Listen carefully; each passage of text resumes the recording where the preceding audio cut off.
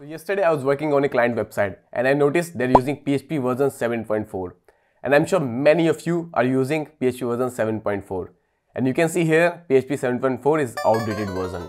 The end of life date for PHP 7.4 was November 28, 2022 and still a lot of people I know you're using PHP 7.4. So now you need to use minimum PHP 8.0 version.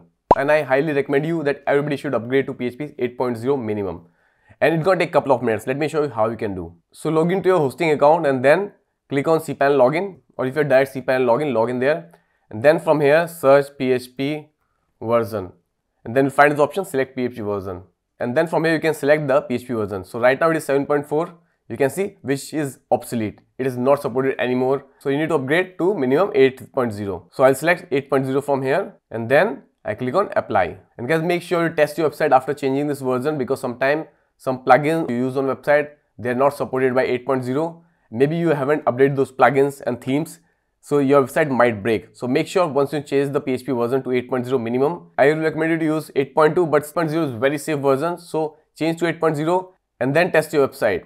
Let me know if you are still using php 7.4 and to which version you updated your website to. I hope this video was informational. Don't forget to like the video and subscribe to the channel.